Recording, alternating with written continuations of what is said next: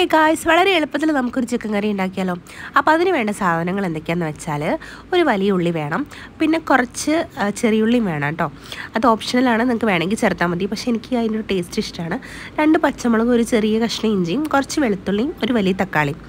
ഇതെല്ലാം കൂടെ നമുക്ക് ഒരു മിക്സിയുടെ ജാറിലേക്ക് ഇട്ടിട്ട് നന്നാക്കി പേസ്റ്റ് പോലെ അരച്ചെടുക്കണം. വളരെ എളുപ്പത്തിൽ തയ്യാറാക്കാമെന്ന് ഞാൻ പറയുന്നതിന്റെ ഒന്നാമത്തെ കാരണം ഇതാണ്. നമ്മളിത് നന്നായിട്ട് അരച്ചെടുക്കുകയാണല്ലോ. അപ്പോൾ വെറുതെ അരിയാനും അതുപോലെ ചതയ്ക്കാനോ ഒന്നും നിൽക്കേണ്ട ആവശ്യമില്ല. ഈ ഒരു കറി ഉണ്ടാക്കാൻ വേണ്ടി ഞാൻ നമ്മുടെ എടുത്തിട്ടുള്ളത് മുക്കാൽ കിലോ ചിക്കനാണ് കേട്ടോ. അപ്പോൾ കഴുകി വൃത്തിയാക്കി ചിക്കനിലേക്ക് ഞാൻ അര സ്പൂൺ മഞ്ഞൾപ്പൊടിയും അര സ്പൂൺ ഗരം മസാലയും രണ്ട് സ്പൂൺ മല്ലിപ്പൊടിയും പിന്നെ ഒരു സ്പൂൺ മുളക് പൊടിയാണ് കേട്ടോ ആഡ് ചെയ്ത് കൊടുത്തിട്ടുള്ളത്. പിന്നെ ആവശ്യത്തിന് ഉപ്പും കൂടെ ചേർത്ത് കൊടുത്തിട്ടുണ്ട്. എന്നിട്ട് ഇതെല്ലാം കൂടെ ചേർത്തിട്ട് നന്നായിട്ട് മിക്സ് ചെയ്യുക ഈ കറി അത്ര സ്പൈസി ഒന്നുമല്ല കേട്ടോ. അതുകൊണ്ടാണ് ഞാൻ ഒരു സ്പൂൺ മുളക് പൊടി ആഡ് ചെയ്തത്.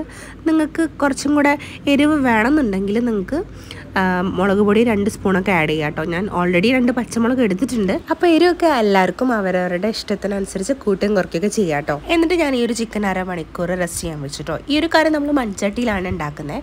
അപ്പോൾ ചട്ടി ചൂടായി കഴിഞ്ഞതിന് ശേഷം ഞാൻ രണ്ട് ടേബിൾ സ്പൂൺ വെളിച്ചെണ്ണ ഒഴിച്ചു. എണ്ണ ചൂടായപ്പോൾ ഞാനിവിടെ നമ്മൾ മിക്സിയിൽ അരച്ച് വെച്ച അരപ്പ് എണ്ണയിലേക്ക് ഇട്ടിട്ടുണ്ട്. എന്നിട്ട് നന്നായിട്ട് വഴറ്റി കൊടുക്കുക. ഏകദേശം ഒരു അഞ്ച് മിനിറ്റ് ഒക്കെ വഴറ്റിയാൽ മതി. അതിനുശേഷം നമുക്ക് ഇതിൽ കാൽ സ്പൂൺ മഞ്ഞൾപ്പൊടിയും കാൽ സ്പൂൺ ഗരം മസാല പൊടിയും അര സ്പൂൺ മല്ലിപ്പൊടിയും ആവശ്യത്തിന് കുറച്ച് ഉപ്പും കൂടെ ചേർക്കാം കേട്ടോ. ഞാനിവിടെ ഒരു കുറച്ച് ഒരു കാൽ സ്പൂൺ ഉപ്പേ ചേർത്തിട്ടുള്ളൂ. എന്നിട്ട് നന്നായിട്ട് വഴറ്റുക. അങ്ങനെ പൊടികളുടെയൊക്കെ പച്ചമണം മാറിയിട്ട് നമുക്കിതിലേക്ക് നേരത്തെ മാരിനേറ്റ് ചെയ്ത് വെച്ചിട്ടുള്ള ചിക്കൻ ആഡ് ചെയ്ത് കൊടുക്കാം. എന്നിട്ട് നന്നായിട്ട് ഇളക്കി കൊടുക്കുക കേട്ടോ.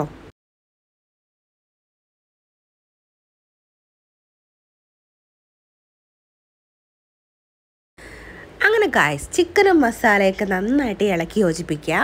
എന്നിട്ട് നമ്മൾക്ക് ചിക്കൻ കറിയിലേക്ക് ഒരു കാൽ ഗ്ലാസ് ചൂടുവെള്ളമാണ് ഞാനിവിടെ ആഡ് ചെയ്ത് കൊടുത്തിട്ടുള്ളത് കേട്ടോ പിന്നെ ഒരു അര സ്പൂൺ കുരുമുളകും കൂടെ ആഡ് ചെയ്ത് കൊടുത്തിട്ടുണ്ട്. നിങ്ങൾക്ക് വേണമെങ്കിൽ കുരുമുളക് പൊടി ഉണ്ടെങ്കിൽ അങ്ങനെ ആഡ് ചെയ്ത് കൊടുക്കാം. ഇനി നമുക്കിതിലേക്ക് കുറച്ച് കറിവേപ്പിലും കൂടെ ചേർത്ത് കൊടുത്തിട്ട് അടച്ച് വെച്ചിട്ട് ഒരു പത്ത് മിനിറ്റ് ഹൈ ഫ്ലെയിമിൽ വേവിക്കാം. പത്ത് മിനിറ്റിന് ശേഷം തുറന്നപ്പോൾ തന്നെ നന്നായിട്ട് ചിക്കനിന് വെള്ളമൊക്കെ ഇറങ്ങിയിട്ടുണ്ട് കേട്ടോ ഇനി നമുക്ക് ഇരുപത് മിനിറ്റ് മീഡിയം ടു ലോ ഫ്ലെയിമിൽ കറി വേവിക്കാം കേട്ടോ ഞാനിവിടെ കുറച്ച് വെള്ളം വറ്റിച്ചിട്ടാണ് ഈ ഒരു കറി ഉണ്ടാക്കിയത്.